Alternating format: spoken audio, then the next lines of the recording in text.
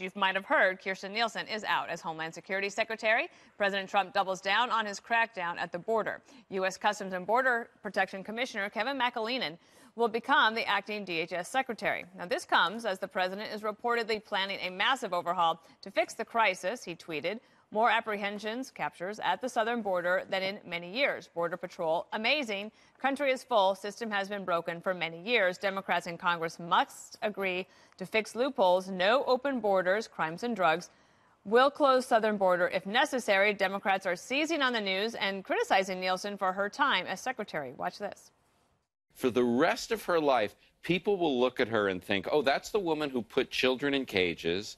That's the woman who broke up families across the border. And you know what? They'll be right. She has been a disgrace as Secretary of Homeland Security, and she leaves behind a legacy of separating families, caging children.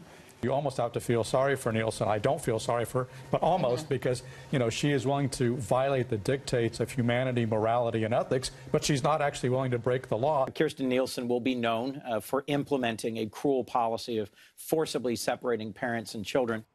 But White House Deputy Press Secretary Hogan Gidley says this just proves that Democrats' priorities are not on protecting the homeland. I do find it uh, kind of interesting that the media is so focused on what happened behind the scenes uh, with the resignation of Secretary Nielsen instead of worrying about what's actually happening at the border. And we have a crisis down there, an emergency, and the media refuses to focus on that, but instead wants to talk about palace intrigue. And acting White House Chief of Staff Mick Mulvaney also doubling down on the criticism of Democrats' handling of immigration. In fact, and I know it's hard to imagine, but again, Nancy Pelosi runs the Democrats in Congress. Mexico has done more in the last week to help our illegal immigration crisis than Nancy Pelosi and, and Democrats in the House would. So that's been a pretty good week. All right, we're going to take it around the table. We've got to start with you, Greg. Yes, uh, I just find it richly ironic when Jeffrey Toobin accuses anybody of breaking up families. Mm. Oh. So, anyway, and the other thing is, let's remember where that story started when those pictures first came out in the media yeah. on Twitter. Those were pictures that were from the time when President Obama was president. So this was a problem that was the splitting up of families that was shared by both families. This is the first time in probably recent history that we have a non politician trying to solve a problem that was shared by both parties. We can agree that this is a responsible, I mean, this is the responsibility of Democrats and Republicans. Okay, you got to look at Trump as a general manager of a sports team. The situations are not dictated by the players, right? The players are dictated by the situation. So when the situation requires a fix, he replaces people to affect the situation. It, so it's like baseball. If the current lineup isn't working, you say you, you bench the guy or you get rid of the guy, you trade the guy for somebody else. That's all he does, and he sees if it works. Uh, and again, and I've said this before, the person who takes the long-term solution will never be treated sympathetically. Um, long-term solutions are, always seem harsh in the short term. You know, the yeah. media are the media are the children who want ice cream for breakfast right? The, the, Trump is the parent saying, no, you know what? To be a healthy adult, you're going to have to eat like this. So eat the, your greens. Eat your greens. The, the, the, what, what Trump is trying to do is affect the long-term solution that, that will remain that way after he's out of office, knowing that he's sacrificing so much capital. Everybody hates him for being the parent, the media especially, because they're the children. The children who basically pushed this lie that it was the, this was the first the administration to separate families. It is the truth. Uh, really? uh, the Remember truth those pictures? Is, no, hang on. The truth is that Obama on. was dealing with unaccompanied minors. Here you have families. So you have moms and children who were separated by Nielsen. And yes, the second and point, why? Again, I think that it's not only is Explain it illegal, why. it's unethical and immoral. So what do you do? So you put them why. in the same position? No, in the same like I'm just saying compound with strangers. True. It's just not true what you said. But I'm going to say so something it was else. working perfectly. It wasn't working. We have a different kind of issue now with so many uh, families and children with why? those families. Why? Why? Because and again, I just want to say does this does all that he's done make you feel safer getting rid of nielsen getting rid of the secret service it seems to me this is so dangerous in terms of our national security.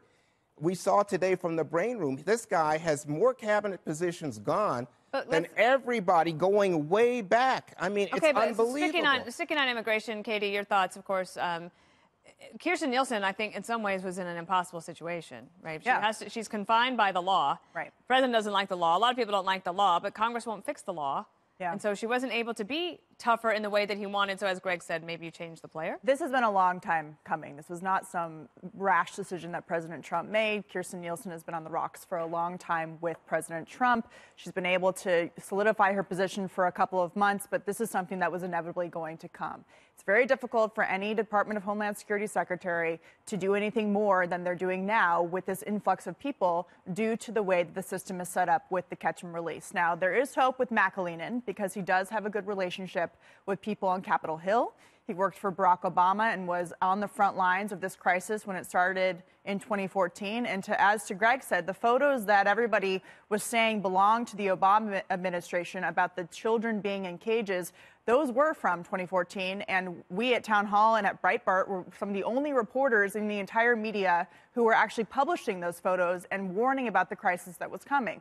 So McAleenan has seen this from the beginning. He knows what needs to be done, and hopefully he can work with um, committees like the Senate Judiciary Committee, where the attorneys there working on immigration know what needs to be fixed, so they can actually come up with something to change this. And one more thing, you know, all these Democrats are talking about how horrible Kirstjen Nielsen was, that she was a terrible person for separating parents and children. Well, if you break the law in America and go to prison, you get separated from your family, first of all. Second of all, what is their solution? They're, they're name calling a whole lot, but they're not putting any legislation on the, on the table to actually solve the problem, which sets up a talking point for them for years to come in 10, 20 years when you're saying all these children were brought here by their parents illegally, mm. should we have a dreamer program from them as well? It's a whole nother system that they're setting up in, in political capital that they are, are gauging Okay. off of right now. Jesse, in the time we have remaining, I'll give you the floor. Think about it for a second. You have America, the greatest country on the face of the earth that can't stop foreigners from coming here and staying here because of dumb laws and dumber politicians. We're erasing our own borders ourselves. If you think about it, person in Central America, grab a kid, your kid, any kid, doesn't matter. Mm-hmm. Hop on a caravan, come up north, set one foot in Texas, and we can't do anything about it. Your kid, who's ever it is that you're bringing there, they're a dreamer, their kid, they're going to be a citizen. You yourself, you go to California, you're going to get welfare, you're going to get a driver's license, you're going to get health care. You commit a felony, Might get to no one's even going to deport you. You can do whatever you want. So the Democrats, they want this situation to be status quo. They don't care about families being separated. If they did, they'd do something to fix it. Pelosi had an opportunity herself when she cut the deal with Trump last month. Did she offer an asylum fix, a detention fix? She offered literally nothing except a few more beds. So when the Democrats talk, don't listen to them. I don't even hear what they're saying. Look what they're doing, and they're absolutely doing nothing. Well, and then they take a tried to cut the beds. Remember, they tried to cut the number Yeah, of beds that, that. ICE was allowed to Well, have. you know what? You take a look at what the Republicans, what Trump's doing. It seems to me that whenever Trump runs into a complex situation, he has a simple solution and he decides that he wants to go beyond the law. The and that's what happened with simple. Kirstjen Nielsen. She went in there yesterday afternoon at 5 o'clock. She didn't intend to resign.